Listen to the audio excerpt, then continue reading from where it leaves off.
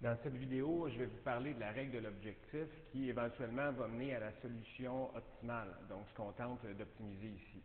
Avant d'en arriver à la règle de l'objectif, il y a tout un travail qui a déjà été fait ici. Donc d'abord, on a lu le problème, identifié les contraintes, transformer les contraintes en inéquations, ce qui a donné lieu à notre ensemble solution qui est euh, le polygone de contraintes ABC, qui est le triangle ici qu'on voit dans le plan cartésien. J'ai même déjà pour vous trouvé les coordonnées des trois sommets de ce triangle-là qu'on voit comme étant A, B et C. Une fois que ça c'est fait, on s'intéresse réellement à l'objectif de notre situation. Et souvent, l'objectif se retrouve à la fin de la mise en situation. Donc, si je lis ce qui se retrouve vers la fin du paragraphe, ça dit le propriétaire désire avoir l'inventaire de véhicules qui maximiserait ses profits. Donc, on veut avoir ici les profits les plus euh, élevés. La vente d'une voiture rapporte en moyenne 6 000 tandis que c'est 8 000 pour un camion. On voit aussi, ben, c'est un exemple où on fait intervenir de l'argent, ce qui est souvent le cas euh, dans une règle de l'objectif. Donc, une fois que ça c'est fait, on va traduire notre objectif par la variable z. z qui va être égal, dans ce cas-ci bien précis, à euh, 6 000 qu'on doit multiplier par le nombre de voitures qu'il y a en inventaire plus 8 000 qu'on va multiplier par le nombre de camions qu'il y a en inventaire, tout simplement.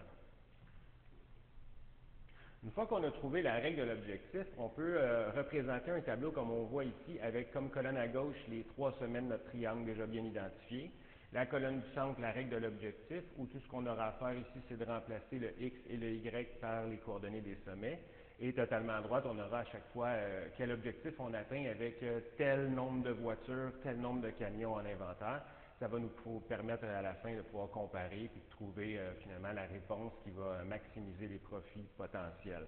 Donc, ce qu'on aurait ici en A, en sommet A, on aurait 6 000 fois 20 voitures, plus 8 000 fois 100 camions.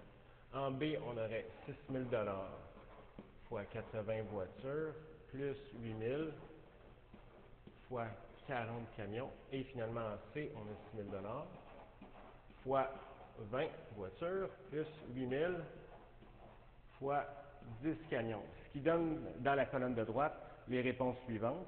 920 000 d'inventaire à condition qu'on aurait, comme on voit à gauche ici, 20 voitures pour 100 camions.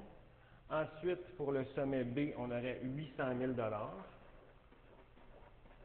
Et comme réponse au sommet C, on aurait 200 000 Donc, avec ce tableau-là, ça devient assez évident de déterminer que la réponse, en fait, le plus grand profit parmi les trois sommets potentiels, euh, c'est 920 000 avec comme sommet A.